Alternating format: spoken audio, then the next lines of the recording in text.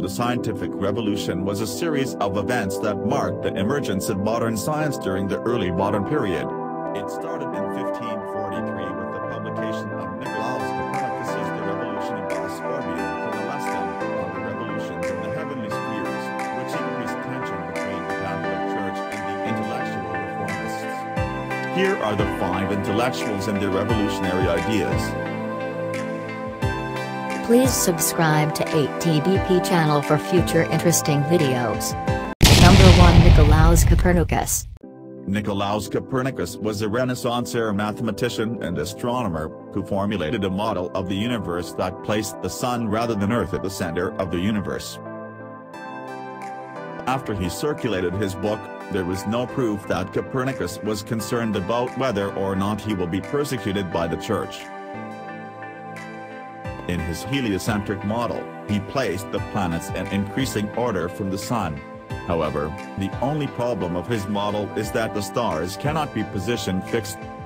Although his theory was correct, the Church judged it as a heretic and banned the book's distribution and was ignored for the rest of the 16th century.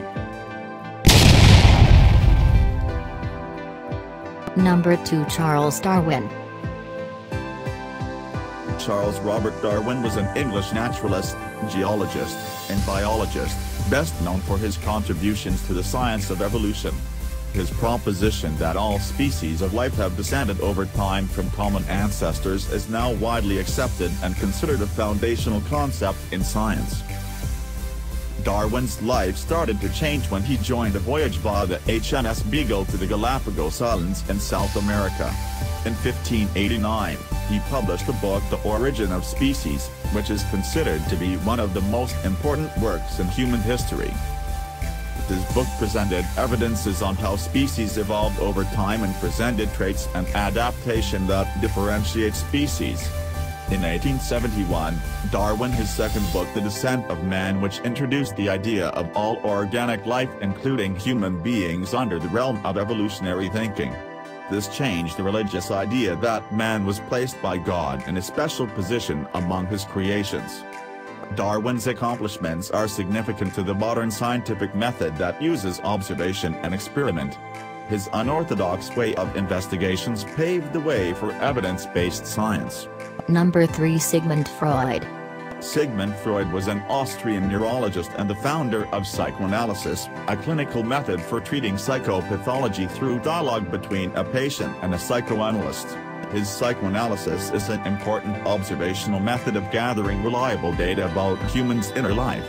His psychoanalysis is a scientific study about the human mind and neurotic illness. According to Freud's model of the psyche, the id is the primitive and instinctual part of the mind that contains sexual and aggressive drives and hidden memories. The superego operates as a moral conscience, and the ego is the realistic part that mediates between the desires of the id and the superego. Number 4 Francis Bacon. Bacon has been called the father of empiricism. His works argued for the possibility of scientific knowledge based only upon inductive reasoning and careful observation of events in nature. Most importantly, he argued science could be achieved by use of a skeptical and methodical approach whereby scientists aim to avoid misleading themselves. Number 5 Galileo Galilei. Galileo was the most successful scientist of the scientific revolution, save only Isaac Newton. He studied physics, specifically the laws of gravity and motion, and invented the telescope and microscope.